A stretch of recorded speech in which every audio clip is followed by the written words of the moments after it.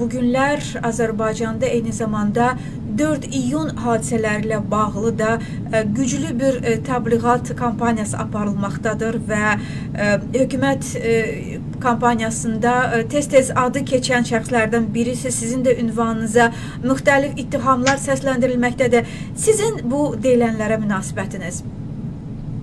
Sevinç xanım, əvvəla bu 4 iyun 93-cü ildə Gəncədə başlanmış qiyamla bağlı əvvəllər çox danışılıb, çox deyilib. Hətta vaxtı ilə e, deməli Heydər Əliyevin sağlığında həmin dövrdə parlamentdəki müzakirələr də dəfələrlə Azərbaycan vətəndaşlarına göstərilib. Mən əminəm ki, xeyli tamaşaçımız bizim həmin dövr müzakirələri görüblər. Amma sonradan onları yığışdırdılar. Birinci ondan başlayım ki, niyə onları yığışdırdılar? Çünki həmin dövrdəki mənim e, şəxsən çıxışlarım E, mənə yalnız üstünlük gətirib. Bunu biraz təvəzzükarlıqdan uzaq olsa da deməliyəm. Və bu faktdır. Buyursunlar, hünərləri çatırsa mənim çıxışlarımı versinlər, həmin dövrdəki çıxışlarımı. Verə bilməzlər. Çünki o çıxışlar bir mənalı şəkildə mənim o zaman haqlı mövqedə olduğumu, dövlət maraqlarından çıxış etdiyimi, qanunçuluq mövqeyində olduğumu, qiyama, qiyama qarşı sərt prinsipial mövqedə olduğumu ortaya qoyacaq. Əlbəttə ki, indi çalışırlar ki, həmin dövrə qərəzlə yanaşsınlar, bilirsiniz. 4 iyunda baş verənlər müzakirə olunmalıdır. Düz vaxtında daha çox müzakirə olunub. İndi də müzakirə oluna bilər. Cəmiyyət vaxtaşırı bu belə məsələlərə qayıdıb baxmalıdır, oradan ibrət götürməlidir, təhlillər aparmalıdır, gələcək üçün nəticələr çıxarmalıdır. Amma Azərbaycanda bunu sağlam məqsədlə əksəriyyət eləmir. Var az sayda ekspert, tarixçi, vətəndaş cəmiyyəti fəalı ki, onlar deməli jurnalist, onlar doğrudan da gerçəklərin ortaya çıxması üçün bu mövzulara müdaxilə edirlər. Amma xüsusilə hökumət tərəfdən və hökumətin yandaşları tərəfindən 4 iyunla bağlı müzakirələrin əsas məqsədi o zamanki siyasi qüvvələri öz aləmlərində qərəzli mövqe ilə gözdən salmaqdır və həmin hadisələrdən konkret olaraq hal-hazırda nə qədər paradoksal görünsə, mənə qarşı da istifadə eləmək istəyirlər. Niyə görə mən dedim ki, paradoksal görünsə də? Tamaşaçılarımızın nəzərinə bəzi məsələləri çatdırmaq istəyirəm. Bir, konkret olaraq özümün həmin hadisələrdə iştirakımla bağlı dəqiqləşdirirəm. Bu günlərdə zamanın baş naziri olmuş Pənah Hüseyin Dövlət Müdafiə Komitəsinin həmin qiyamdan 8 gün öncə keçirilmiş iclasının protokolunu açıqladı. Və həmin protokolu oxuyan adamlar hamısı gördü ki, qiyamdan 8 gün qabaq bir sıra hərbi hissələrin artıq Surət Hüseynova sədaqət andı işdiklərini mən məlumat vermişəm Dövlət Təhlükəsizlik Komitəsində və bildirmişəm ki, həmin şəxslər hərbi hissələrin rəhbərləridir və onlar təcili şəkildə təcrid olunmalıdır. Yəni, əvvəlcədən bu baş verənlərə prinsipial münasibət göz qabağındadır. Şəxsən öz mövqeyimlə bağlayıram. Çox təəssüf ki, həmin dövrdə deməli, həmin hərbi hissələrin tərk silah olunması ilə bağlı əməliyyatı bir başqaları həyata keçirdi həmin proseslə bağlı Heydər Əliyevin vaxtında məhkəmə prosesi keçirilib və məlum olub ki, həmin prosesdə mən iştirak eləməmişəm. Mən demirəm ki, bu yaxşıdır. Mənim başımın üstündən görüblər onu biz, mənim bəzi həmkarlarım həmin dövrdə. Amma o proses məndən kənarda həll olunub. Prezident Əbülfəz Elçibəy həmin Gəncədəki e, itaətsizlik göstərən hərbi hissənin tərk silah edilməsini mənə yox, başqa vəzifəli şəxslərə həvalə edib. Onlar bir neçə dəfə toplaşıblar, plan qurublar, əməliyyat keçirdiblər, əməliyyatı uğursuz ediblər. Amma bu prosesdə mən iştirak etməmişəm. Mən nə zaman prosesə qoşulmuşam? Artıq qiyamın qarşısını almaq üçün 4 iyundakı əməliyyat uğursuz olub. Gəncəni qiyamçılar ələ keçirdi. Mən dərhal gəlmişəm Daxili İşlər Nazirliyinə. E, o zaman parlamentin spikeri İsa Qəmbər də gəlib ora birbaşa icraya nəzarəti öz əlimə götürmüşəm. Qısa müddətdə Gəncənin ətrafının tam deməli e, mühafizə olunması ilə bağlı tədbirlər görmüşük. İki məqsədlə. Bir, qiyam Gəncədən yayılmasın. İki, Gəncənin içindəki həmin hərbi hissə itaətsizlik göstərən, dövlətə silah qaldırmış hərbi hissə tərksilah edilsin. Amma sonradan Əbülfəz Elçibəy ölçüb biçib müəyyən məqamları hesab eləyib ki, silahdan istifadə olunması vətəndaş müharibəsi riski yarada bilər və elə həmin günü orada mən Daxili İşlər Nazirliyində ikən telefonoqram almışam ki, bütün hərbi hissələr silahdan istifadəni dayandırsınlar. Yəni bu da mənsiz olub. Baxın, deməli, əməliyyatın planlaşdırılması və həyata keçirilməsi mənsiz olub. Silahdan imtina olunması mənsiz baş verib. Mənim iradəmdən kənar olub. Parlamentdə canlı yayımın həmin dövrdə təşkil olunması iradəmdən kənar baş verib. Heydər Əliyevin dəvət olunması iradəmdən kənar baş verib. Həmin dövrdə Əbülfəz Elçibəyin Bakıdan sonuncu dəfə ayın 17-sində yeri gəlmişəm, bu gün onun il dönümüdür. Bakını tərk etməyə məcbur olandan sonra, onu da mən tarixçəsini bilirəm. Ayın 16-sında Müdafiə Nazirliyindəki hərbçilər, zabitlər artıq biz bu işə qarışmırıq. Başqa sözlə Ali Başkomandana itaətsizlik göstərəndən sonra 17-sində gedəndə də yenə mənsiz olub bu qərar. Ona görə də bunun nə məqsədlə özümə aid olan hissəsini dedim Sevinç xanım, e, sizin sualınızda da bu vardı bir çoxları güya bu hadisədən, bu hadisədən mənə qarşı istifadə eləmək istəyirlər. Mən demək istəyirəm ki, mən həmin dövrlə bağlı çox danışmıram. Ona görə ki, gələcəyə baxmağın tərəfdarıyam. O keçmişin intriqalarının arasında çox vaxt itirmək istəmirəm. Amma mənim o günlərin hər biri ilə bağlı alnım açıq ucumaqdır. Çox şükürlər olsun Allaha ki, mən aradan 26 il keçəndən sonra da həmin günləri xatırlayıram. Məni utandıracaq heç bir addımım, heç bir qərarım, heç bir çıxışım olmayıb. İlk gündən qiyama sərt təpki göstərmişəm. Qiyamçıların tərsilah olunmasını tələb etmişəm.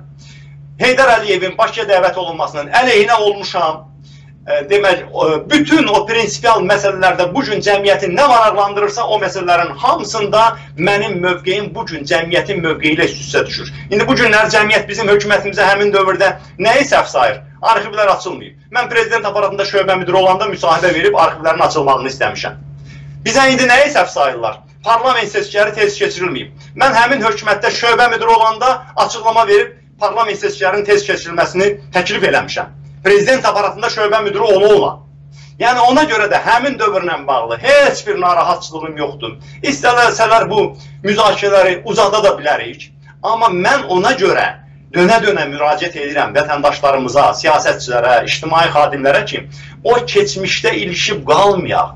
Bu günləri bizim o qədər böyük problemimiz var ki, bu sülalə hakimiyyəti ilə bağlı. Açığı o dövrdə olan səhvlər e, hətta ayrı-ayrı dövlət idarələrində baş vermiş səhvlər, hansına ki, mən də çox belə deyək ki, acıqlı yanaşırdım. Həmin dövrdə mənim kəskin tənqidi çıxışlarım var xırda, indiki ilə müqayisədə xırda korrupsiya əməllərinə mən çox barışmaz yanaşırdım. Bəzən güya öz aləmlərində o kəm ağılları ilə məni güya gözdən salmaq üçün dövlət katibi olaraq çıxışlarımı verirlər ki, mən korrupsiya qarşı çıxış eləmişəm. Onu başa düşmürlər ki, dövlət katibinin, yeni təyin olunmuş dövlət katibinin öz hökumətinin səhvlərini zərrəbinlə də olsa görüb o xırda səhvləri də aradan qaldırmağa çalışması yaxşı şeydir. Pis şey deyil, örtbasdır eləmək deyil.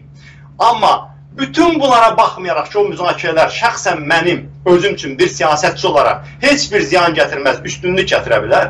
Amma mən o 26 il bundan qabaqda ilişib qalmağın tərəfində deyiləm. Və 20, həmin 26 ildən sonra biz iyun hadisələrini müzakirə ediriksə, başqa aspektlərində müzakirə etməliyik. Məsələnin cəmiyyət üçün faydalı, gələcək üçün faydalı aspektlərində müzakirə etməliyik. Bəli, Həmin dövrdə bunu rəhmətli Əbülfəz Elçibəy özü sağlığında qəbul edib. Bizim birlikdə hazırladığımız geniş bir sənəd var. Azadlıq qəzetinin vaxtı ilə 8 səhifəsində çap olunub həmin sənəd. Müstəqillik ikinci cəhd. 13 il, 13 ay hakimiyyətdə. Bax belə bir böyük bir analitik yazıdır. Həmin yazının qəzetin orta hissəsində, 2 səhifəsində 14 bölümdən ibarət bizim səhvlərimiz adlı hissəsi var. O deyirlər vaxtaşırı ki, indi bilməyən adamlar səhvləri etiraf eləmirlər. Niyə etiraf eləmirik? Olub səhvlər və etiraf olunub. Əbülfəz Elçibəyin sağlığında etiraf olunub və qəzetdə çap olunub. Zəhmət çəkin, gedin Axundov kitabxanasına kimi maraqlandırırsa, həmin deməli böyük bir yazdı, 8 qəzet səhifəsi. Bunların hamısı qeyd olunub. Bəli, həmin qiyamın qarşısı alına bilərdimi? Mənim şəxsən fikrimə görə çətin idi, amma alına bilərdi. Niyə çətin idi? Çünki böyük bir proses vardı burada, bilirsiniz. İndi görürsünüz, adicə bizimlə müqayisədə nə qədər əlverişli vəziyyətdə olan Ukraynadan iki demokratik hakimiyyət bir müddətdən artıq hakimiyyətdə qala bilmədi. Nə Yushchenko qala bilmədi bir müddətdən artıq, nə Paraşenko. Dəyişdilər. Çünki demokratlardan tələb çox olur. Həmin dövrdə Gürcüstanda da bu hadisə baş verirdi. Bütün Şərqi Avropada baş verirdi. Pribaltikada baş verirdi. Kommunistlərin revanşı vardı, geri qayıdışı vardı. Bizdə isə Rusiyanın və İranın o zamanki xüsusi xidmət orqanlarının işə müdaxiləsi, hərbi hissənin, Surət Hüseynovun rəhbərlik etdiyi hərbi hissənin qiyam qaldırması, əlində silah bir hərbi hissənin Bakıya yürüş etməsi vəziyyəti mürəkkəbləşdirirdi. Və Əbülfəz Elçi bəy istəmədi. Dedi ki, e, qan tökülməsi bahasına hakimiyyəti qorumağı doğru saymıram. Çox açıq şəkildə. Kim istəyir bunu Əbülfəz Elçibəyin humanizminin, böyük dövlət adamı olmasının göstəricisi kimi qəbul etsin. Kim istəyir zəif iradəsi açsın. Amma bu faktdır. Bəli, Əbülfəz Elçibəy vətəndaş müharibəsindən yayınmağı ən əsas prioritet elan elədi. Ola bilsin ki, şəxsən mən məsələn bəlkə o qədər böyük baxmırdım məsələyə. Mən elə saymırdım. Mən hesab edirdim ki, sərt qanunçuluq tədbirləri görməklə bu qiyamın qarşısı alınmalıdır. Amma biz bu məsələləri müzakirə eləyəndə burada konkret adamların səhv və düz hərəkətlərini müzakirə etməklə yanaşı toplum olaraq da özümüz üçün bəzi ibrətlər götürməliyik. Məsələn, Həmin dövrdə mən etiraf eləyirəm, prezident aparatının keçirdiyi sorğularda göstərirdi ki, Heydər Əliyevin reytingi çox yüksək idi. Düzdür, Heydər Əliyev sonradan 93-cü ildə hakimiyyəti zəbt edəndə demokratik seçki keçirmədi. O xalqa güvənmirdi. Xalqın artıq ona rəğbəti yaranmışdı aldanaraq. Amma o xalqa güvənmirdi, ona görə seçkini demokratik eləmədi. Amma demokratik eləsəydi, onun reytingi yüksək idi. Və deməli, bax bunu deməliyəm mən. Əbülfəz Elçibəyin demokratik hakimiyyətindən o qədər maksimalist gözləntilər ortaya qoyduq ki, xalq olaraq. Deməli, kəndlər bir-bir azad olunur, bizi qane eləmir. Yox, biz bütöv rayonu bir gündə istəyirik. Maaşlar, müəllimlərin maaşı birdən-birə üç dəfə artırılır. Test imtihanı gətirilir. Bəli, o zaman biz e, çox maksimalist yanaşırdıq məsələlərə.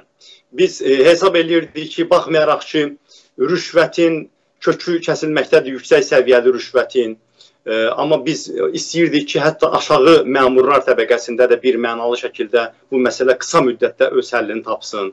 Biz Qarabağın da qısa müddətdə azad olunmağını istəyirdik. 70 ildən bəri yığılıb qalmış problemlərin hamısını qısa müddətdə həll olunmağını istəyirdik toplum olaraq və hamımız məsuluq. Mən də o komandanın bir üzvü olaraq o məsuliyyətdən yayınmıram.